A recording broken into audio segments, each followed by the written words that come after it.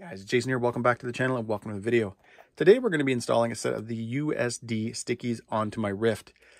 If you've been following the channel, if you've been following any of my Ryft videos, you'll know that I built this buggy around being able to take it in the trail and enjoy the trails, enjoy a little bit of, you know, climbing, rock crawling, whatever, but still have something that if I want to, you know, rip it around a little bit faster, if I find a cool open area on the trails, I can, I can enjoy it. However, that has not been the case. I installed the included locker in the center. I left both the front and rear diffs open. I did use fairly thick fluid. I can't remember what it was. I thought it was 500,000 if I remember correctly. But when I had this truck in the trails a few weeks ago, it did not perform well. Didn't matter what I did. Basically, even though I've got that thick fluid in the diffs, it still always wanted to, you know, send the power to the tire that was, you know, hanging up in the air and all that kind of stuff. And it just, it made the buggy not a lot of fun. So what I chose to do, besides from guys buying these tires, I did buy another locker. So what I'm going to do, not in this video, but very, very soon, the next time you see this truck running, it'll have the locker in it. I'm going to install a locker in the rear. And then I've got an order with Treal that I want to place soon where I'm going to change out these silver links to black ones. Just That's just based on appearance. But I am going to do an aluminum diff cup in the front and thicken that up even more. I'm not sure what I'm going to go to. If I might go right into a million, we'll see. My plan and what I'm hoping is as soon as I put a locker on the rear, my steering is going to be affected. And remember, guys, I'm not building this just for the trails. I, I want to be able to enjoy it kind of everywhere. But as soon as I do the locker in the rear, my steering is going to be affected. I'm hoping by extremely thickening up the fluid in the front that it'll help and it'll help with, you know, being able to use obviously both tires. If one starts to hang up a little bit, that the other one will still work. But having the diff locker in the rear, if I get into a situation where my truck's kind of up like this and all of a sudden I find one of my tires going, being able to have both tires in the rear locked, it should be able to push me up. If one of these tires, for example, starts to uh, slip because it doesn't have the locker in the front, that again, having that locked rear end, that this buggy will be able to push up and over. I'm not sure. I am not a huge crawler trail guy. I enjoy these things. I enjoy building them. I love the way they look. But this is all, guys, trial and error. I've spent some time looking at videos. I've spent some time looking at other people's setups. I think this is going to work. I'm not 100% sure. But either way, it's going to be fun. And as for the stickies, guys, that's what this video is. These things are absolutely incredible. I was looking at them earlier and honestly, they are just so beefy, so thick. I just honestly, guys, really like the look of them. They definitely have a lot deeper tread than the stock ones. I am using, for now, the stock foams. I'm going to spend a little bit more time looking into the foams. I usually like the Crawler Innovation uh, two-stage narrow foams. So they're kind of, they're narrow right here. So they keep kind of the same uh, contour to the tire. It doesn't like, you know, kind of balloon out like this sort of thing, but yet have a softer outer. So it's kind of got the hard middle, but a, a softer outer just so that the tire can actually conform over rocks and stuff like that. But I've uh, taken almost four minutes to start this video. Let's get into changing those tires.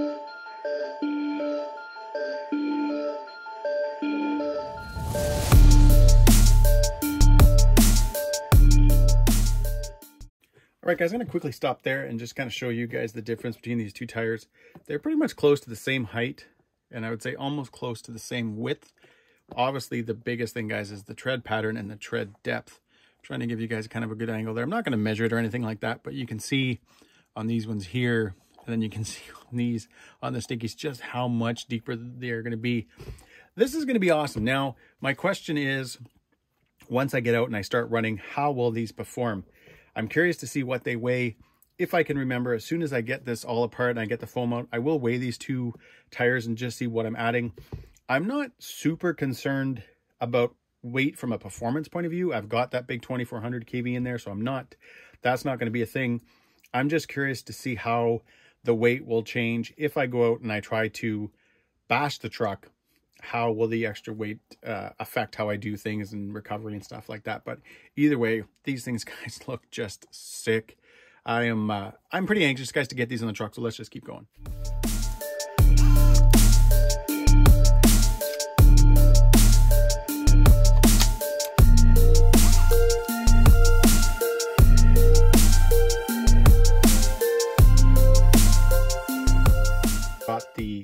Apart, got the foam out. By the way, I was trying to be careful with my foam. That's why it took me, even though in the time lapse it probably took like that to get the foam out. I was trying to be careful with it just because I was out with this truck. I was in the water and all that kind of stuff, and I didn't I didn't know how the foam was going to be. So, but it is still together, which is good. Once you get everything apart and you hold these two tires in your hands, I don't know how to explain it, but this, hopefully this makes sense. This now feels like a piece of paper compared to this tire. This is very beefy, very thick. Even when you're kind of just squeezing here, you can feel the thickness, you can feel the strength. Even though, guys, I had no issues with these tires at all, just compared to these stickies, these just, again, they feel like paper. They feel like there's just nothing here where this guy's is very thick. It's, it just feels very, very beefy in the hand. What I'm going to do now, though, I'm going to kind of change the camera a bit. I'm going to weigh them just because I also, once you get these things apart and you hold them in your hands, this feels a lot lighter, guys. This, you can tell the weight's there. So let's see, uh, let's see how they come in. All right, we'll start first with the USD sticky. That comes in at 232 grams compared to the stock, which is going to be a lot lighter, 151 grams. So to put that into perspective, guys, um, 205 grams, uh, 216 grams,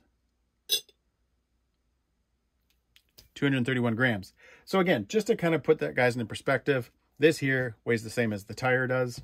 I not again, guys. I that's not to me a big deal, but just I know always people always want to ask, you know, the difference in weight and stuff like that. I do find that I think most Ryfts out there are usually definitely well powered or even overpowered. So I, again, I don't think it's going to be a huge deal. Anyways, let's get back to installing these rims and tires because I am anxious to see how this thing is going to look when it's all done.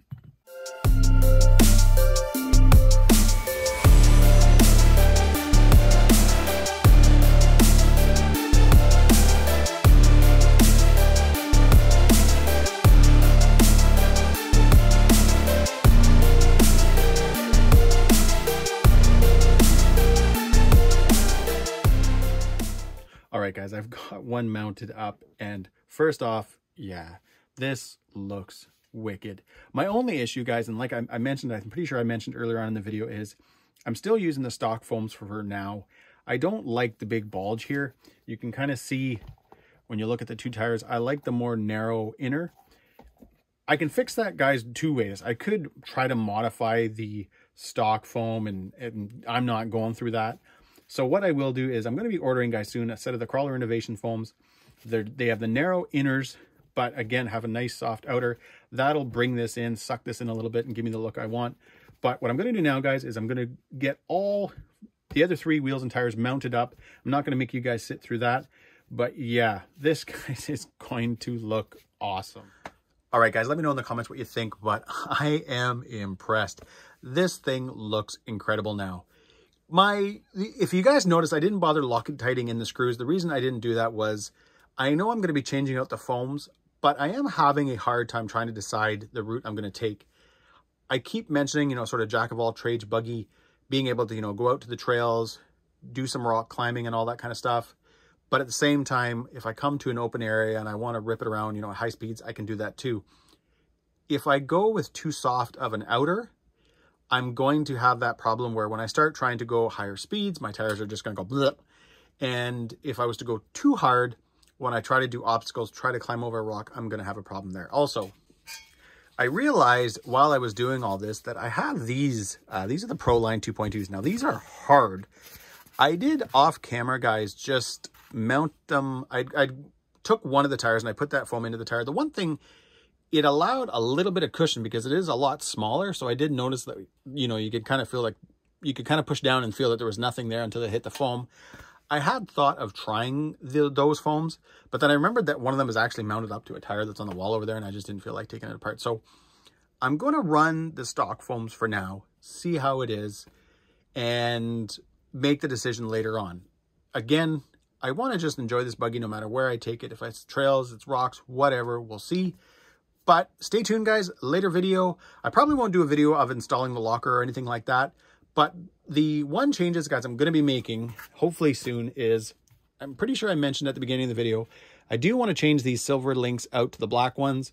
I'm going to add the Treal uh, black aluminum shock mounts up here.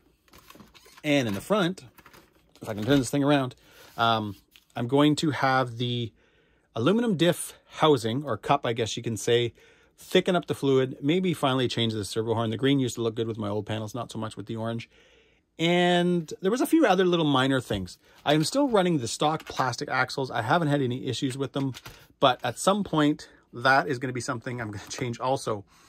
What's funny is that when I made the sticky purchase, I had a cart going on the Treal website as well with a lot of parts and I was doing both. I was going to do all the parts and the tires, the locker, all that stuff.